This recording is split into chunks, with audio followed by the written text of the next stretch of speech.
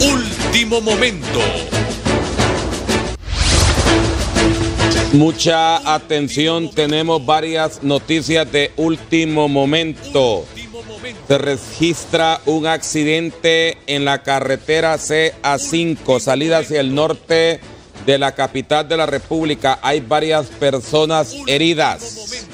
Mucha atención. Ya están identificados los cuatro muertos en Lloro. Tendremos ya los detalles de estas cuatro, los nombres de las cuatro personas porque al inicio del programa solo informábamos de dos. También mucha atención, se reporta en este momento un incendio en una tienda al interior de un centro comercial allá en San Pedro Sula. Mucha atención. Seguimos detallando noticias a esta hora, 7 de la mañana con 45 minutos. También aquí estamos ya con Nelson Sorto en este accidente en la carretera CA5. Denos todos los detalles, Nelson Sorto. Último momento. Muchas gracias, licenciado Eduardo Maldonado. Ya paramédicos de la Cruz Roja están dando los primeros auxilios a estos eh, pacientes, a estos pasajeros de esta camioneta que vinieron a impactar a, este eh, semejante camión que está parqueado, que está estacionado a un lado de la carretera aquí en kilómetro 13 justo en la entrada principal a la colonia San Miguel Arcángel en la carretera CA5. Son eh, seis los pacientes que en este momento ya han estabilizado y lo llevan a la emergencia del hospital Escuela Universitario.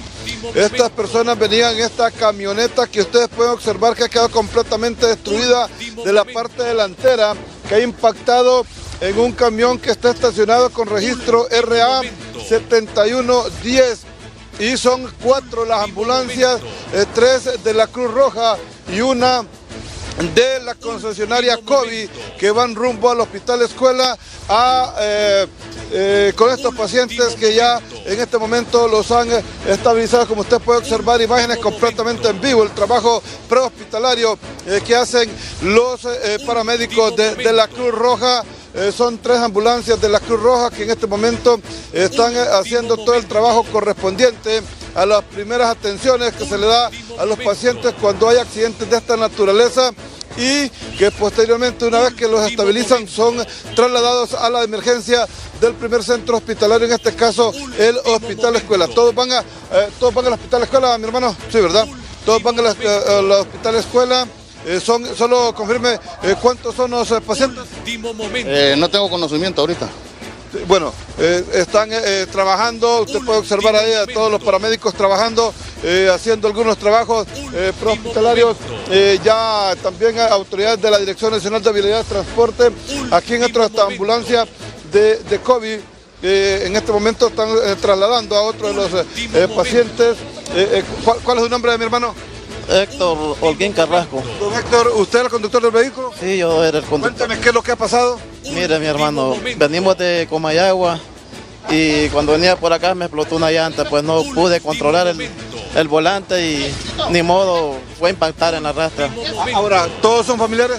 Todos somos familiares. Yo, ¿Recuerda el nombre de todas las, de todas las personas? Eh, sí, los conozco, ellos son mis hijos mi esposa y mi suegra la que va. ¿Y me das los nombres? Eh, mi hijo Jonathan Jair, el, que, el niño que va acá en esta camilla, eh, y Yasmín Carrasco Sierra y también Seidi Jacqueline Carrasco Sierra y mi esposa eh, Yasmín Lice Contreras y Dalila Sierra y Lizzy, Yasmín, somos seis los que íbamos en el, en el vehículo. Son cinco adultos y un menor. Cinco adultos. ahora, señor Carrasco, usted viene como ya dice, se le estalla una llanta cuando venía en este sector y impacta este vehículo que está estacionado. Sí, correcto. Venimos de la ciudad de Comayagua y se explotó una llanta y, no pude controlar el volante. ¿Usted se dirigía para dónde? Eh, pues nosotros somos del sur, somos de Texigua, el paraíso. ¿Ya iban para allá, para el sur? Ya yo, de regreso. Sí. ¿En Comayagua andaban en visita familiar? Eh, andaban en una familia de mi hermana.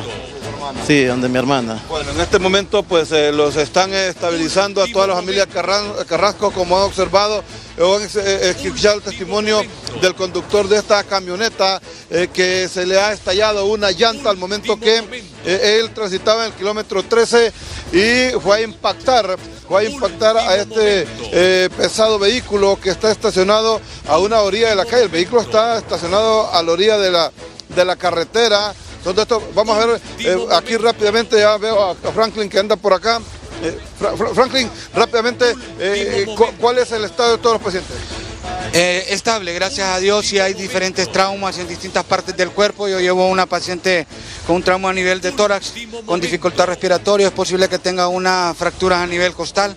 Eh, creo que dos de ellas están fracturadas. Ah, tenemos a unos menores con fracturas en miembros inferiores. Eh, tramos a nivel de tórax con el, la persona que conducía. hay tramos a nivel lumbares con, hay que evaluarlos, hay que hacer radiografía para determinar si realmente ah, hay alguna lesión seria. ¿Todos van al hospital de la escuela? Creo que sí, no he preguntado, no sé si ellos tienen seguro.